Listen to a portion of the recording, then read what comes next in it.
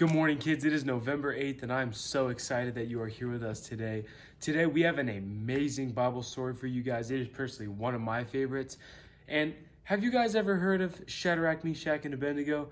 Those are some silly names, right? Try to say those three times fast. Shadrach, Meshach, Abednego, Shadrach, Meshach, Abednego, Shadrach, Meshach, Abednego. I got it. Do you guys got it, though? Today, we'll be in the book of Daniel, chapter 3. And have you guys ever been in a scary situation where where maybe you had to lean on God a little bit. Well, let me tell you, these three guys were in a very scary situation and they would not have survived without God. In this story, there's this crazy king who builds a statue that is over 90 feet tall and wants everybody to worship it. But these three guys, Shadrach, Meshach, and Abednego, wouldn't, they refused to worship this false idol. So, jump in and let's watch the video to see what happens next. Man, it feels like a furnace in here. Why is it so hot? I may have turned up the heat in the studio. Turned it up? How hot is it? 700 degrees.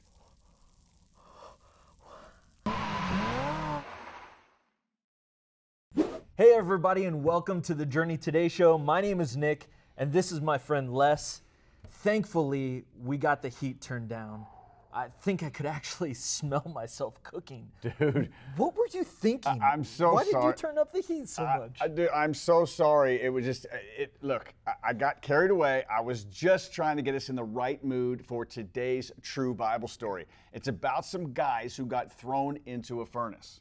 ah, okay. So you mean Shadrach, Meshach, and Abednego? Yes, those guys that are easy to pronounce. Yeah, it's an amazing story.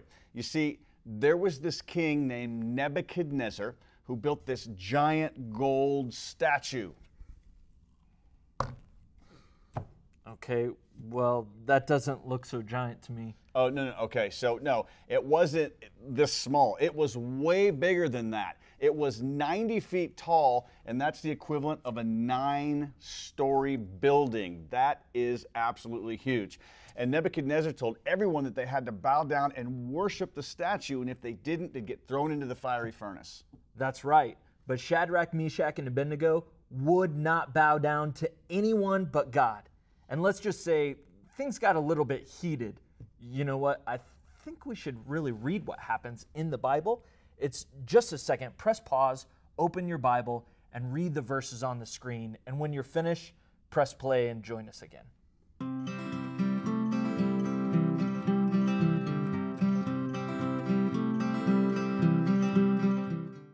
Isn't that incredible? I mean, I've heard of people standing up for God, but Shadrach, Meshach, and Abednego actually stood up for God. Even though they were threatened with death, they refused to bow down and worship the gold statue. You know what? Uh, You know, it actually makes me think of a, a really good challenge. You up for something messy? Oh, dude, do I have a choice?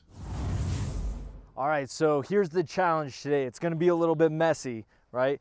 But our job is to play tug of war and see who falls three times first, right? Yeah, so yeah, the first person to fall three times loses, right? Uh, yeah. And so, and we've got our little slippery slope back here. Uh, some soap, some water makes for a slippery slide, but uh, essentially it's tug of war. You ready for this? Yeah, I think my balance is a little better. All right. We'll see.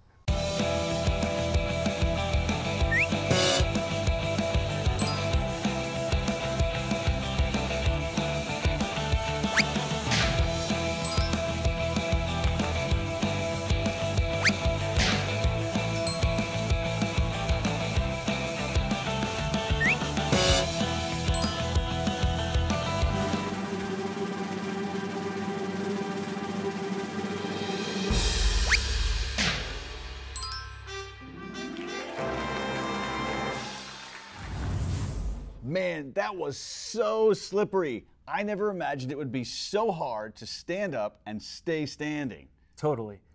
But that's why we did that challenge. Sometimes it can be really hard to stand up for God. Fortunately for us, we don't get thrown into a fiery furnace for worshiping the one true God. But loving and following Jesus isn't always the popular thing to do. Sometimes people say that believing in God is weird. Sometimes people say that living life God's way is dumb and boring. Sometimes people try and get us to do things that break God's rules. When people say and do those things, we have to make a choice like Shadrach, Meshach, and Abednego did. We can either stay quiet or we can stand up for God like they did. That's so true. But the awesome thing is that we're not alone. King Neb had three people thrown into the furnace, but do you remember how many people he saw walking around in the fire? Yeah, there were four.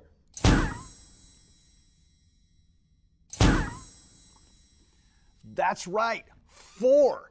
King Neb said that the fourth man looked like the son of the gods. Some people think it was an angel, other people think that it was Jesus himself. Either way, God was standing right there with him. And when we suffer for doing what is right, he's with us too. More than that, God blesses us when we suffer for doing what's right and standing up for Him. In fact, that's what our Bible verse for today tells us. Matthew 5:10 says, "Blessed are those who suffer for doing what is right. The kingdom of heaven belongs to them." Hey, you know what? That actually reminds me of a question for everybody. If you were Shadrach, Meshach, and Abednego, what would you have done? Could you have stood up for God in that situation? Press pause. And discuss.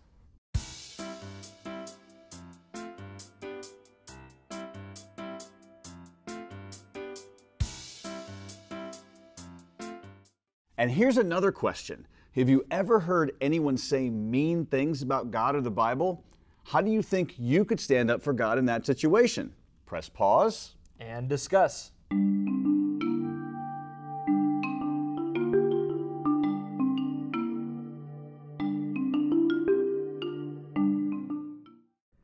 Suffer for doing what is right and stand up for God, God blesses you. That means He fills your heart with a deep happiness. But that's not all. When you stand up for Jesus, Jesus stands up for you. Someday, when you die, if you love and follow Jesus, Jesus will stand up for you and say, He or she is with me.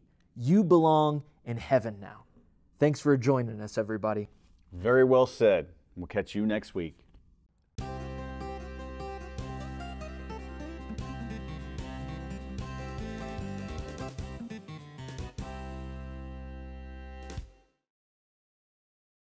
Wow, that was an amazing Bible story.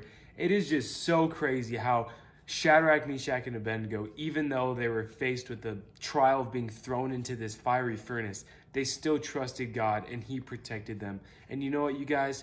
You need to remember that even though if you're going through a crazy circumstance or a trial, that you need to trust God because He will always be there for you no matter what.